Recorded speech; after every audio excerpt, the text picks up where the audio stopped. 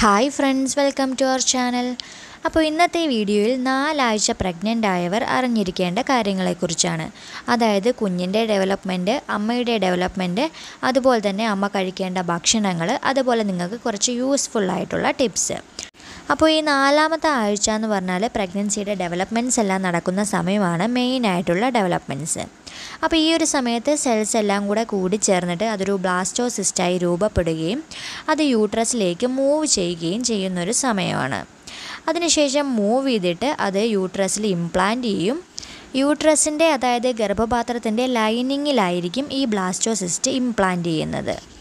ഈ ഒരു സമയത്ത് ആ ഇംപ്ലാന്റ് ചെയ്ത ബ്ലാസ്റ്റോസിസ്റ്റ് നമ്മുടെ നേക്കഡ് ഐക്ക് വിസിബിൾ ആയിരിക്കില്ല. അങ്ങനെ ആ ബ്ലാസ്റ്റോസിസ്റ്റ് യൂട്രൈൻ ലൈനിങ്ങിൽ ഇംപ്ലാന്റ് ചെയ്തതിന് ശേഷം ഒരു പ്രഗ്നൻസി ഹോർമോൺ റിലീസ് ചെയ്യും. അതായത് കോറിയോണിക് ഗൊണാഡ്രോട്രോഫിൻ എന്നാണ് പറയുന്നത് എച്ച് സി ജി എന്ന് ചുരുക്കി പറയും.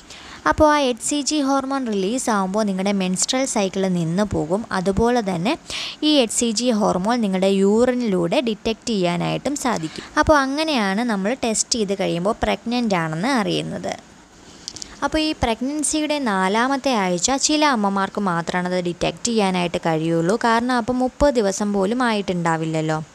അപ്പോൾ ഈ കുഞ്ഞിന്റെ ഡെവലപ്മെന്റ് എന്ന് പറഞ്ഞാൽ ആ ഒരു സമയത്ത് ചെറിയ ഒരു സീഡിന്റെ അത്ര മാത്രമാണ് കാണുകയുള്ളൂ അതുപോലെ തന്നെ ഓർഗൻസ് ഒന്നും ഡെവലപ്പായിട്ടും ഉണ്ടാവില്ല. അപ്പോൾ ഇത്രയുമാണ് കുഞ്ഞിന്റെ കാര്യത്തിൽ ഉണ്ടാവുന്ന മാറ്റങ്ങൾ. ഇനി അമ്മയുടെ കാര്യത്തിലാണെങ്കിൽ ഈ ഒരു സമയത്ത് അതായത് ഇംപ്ലാന്റേഷന്റെ സമയത്ത് ചെറിയൊരു ബ്ലീഡിങ് ഉണ്ടാവാനുള്ള സാധ്യതയുണ്ട്. ചെറിയ സ്പോട്ട്സ് ആയിട്ട് അതിന്റെ പേര് ഇംപ്ലാന്റേഷൻ ബ്ലീഡിംഗ് എന്നാണ്. ഈ ബ്ലീഡിങ് കാണുമ്പോൾ ഒട്ടും വറി ചെയ്യേണ്ട കാര്യമില്ല കേട്ടോ. കാരണം ഇത് ഒരുപാട് പേർക്ക് വരുന്നതാണ്. ഇംപ്ലാന്റ് ചെയ്യുമ്പോൾ ചെറുതായിട്ടൊരു ബ്ലീഡിങ് ഉണ്ടാവും. കാരണം യൂട്രസ് ലൈനിങ്ങിലാണല്ലോ ഈ ബ്ലാസ്റ്റോസിസ്റ്റ് ഇംപ്ലാന്റ് ചെയ്യുന്നത്. അപ്പോൾ ചെറുതായിട്ടൊന്ന് ബ്ലീഡ് ചെയ്യും. അത് വെളിയിലേക്ക് വരുന്നതാണ് ആ ചെറിയ ചെറിയ സ്പോട്ട്സ് ആയിട്ട് കാണുന്നത്. അതൊന്നും തന്നെ പേടിക്കാനില്ല. ഇനിയിപ്പോൾ അങ്ങനെ ബ്ലീഡിങ് വന്നില്ല എന്നോർത്തും പേടിക്കാനൊന്നും ഇല്ല കേട്ടോ കാരണം എല്ലാവർക്കും അങ്ങനെ ബ്ലീഡിങ് ഉണ്ടാവാറുമില്ല. ചിലർക്ക് ബ്ലീഡിങ് ഇല്ലാതെ തന്നെ ഇംപ്ലാന്റേഷൻ നടക്കാറുമുണ്ട്. അപ്പോൾ ഈ ബ്ലീഡിങ് അങ്ങനെ ഉണ്ടായാൽ തന്നെ അത് ഉണ്ടാവുന്നത് പ്രഗ്നൻസിയുടെ നാലാമത്തെ ആഴ്ചയിലെ ആദ്യ ഭാഗങ്ങളിലായിരിക്കും. ഇംപ്ലാന്റേഷൻ കഴിഞ്ഞ് ഞാൻ നേരത്തെ പറഞ്ഞ പോലെ എച്ച് സി ജി ഹോർമോൺസ് എല്ലാം റിലീസായി കഴിയുമ്പോൾ അമ്മയ്ക്ക് ചെറിയ പ്രഗ്നൻസി സിംറ്റംസ് ഒക്കെ കാണിക്കാനായിട്ട് തുടങ്ങും. അതായത് നോസിയ തളർച്ച അതുപോലെയുള്ള കാര്യങ്ങളൊക്കെ. അതുപോലെ ഈ ഒരു സമയത്ത് അമ്മമാർക്ക് തളർച്ച വിളർച്ച അതുപോലെ തന്നെ വിശപ്പിലുണ്ടാവുന്ന മാറ്റങ്ങളെല്ലാം കണ്ടുവരാറുണ്ട്. അതുപോലെ രാവിലെ എഴുന്നേറ്റ് വരുമ്പോൾ ഉണ്ടാവുന്ന മോർണിംഗ് സിക്നസ് എല്ലാം ഈ ഒരു സമയത്ത് കണ്ടുവരാറുണ്ട്. ഈ ഒരു ഇംപ്ലാന്റേഷൻ കഴിഞ്ഞതിന് ശേഷം H C G hormones release ആവുമെങ്കിലും എല്ലാവരിലും പ്രഗ്നൻസി ടെസ്റ്റ് പോസിറ്റീവ് ആവണമെന്നില്ല. കാരണം എല്ലാവരിലും ഈ എച്ച് സി ജിയുടെ ഹോർമോൺ ലെവൽ ഒരുപോലെ ആവണമെന്നില്ല. ചിലർക്ക് ധാരാളമായിട്ട് ഹോർമോൺസ് ഉണ്ടാവും. അവർക്ക് നേരത്തെ തന്നെ പ്രഗ്നൻസി ടെസ്റ്റ് പോസിറ്റീവ് ആവും.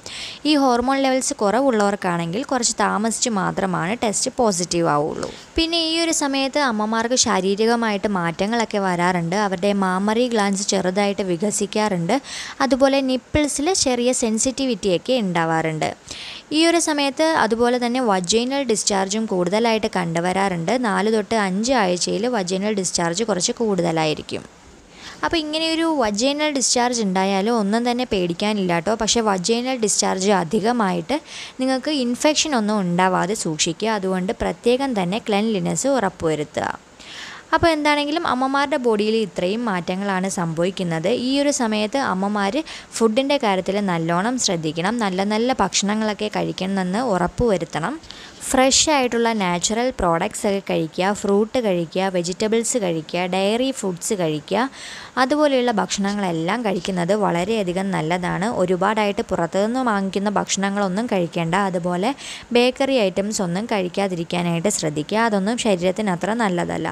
കൂടുതലായിട്ടും ഹെൽത്തി ആയിട്ടുള്ള ഫുഡ്സൊക്കെ കഴിച്ച് ഹെൽത്തി ആയിട്ടിരിക്കാനായിട്ട് പ്രത്യേകം ശ്രദ്ധിക്കുക. അതുപോലെ തന്നെ ഫുഡിന്റെ കൂടെ ആവശ്യമുള്ള വൈറ്റമിൻ ടാബ്ലറ്റ്സ് കൂടി കഴിക്കുക.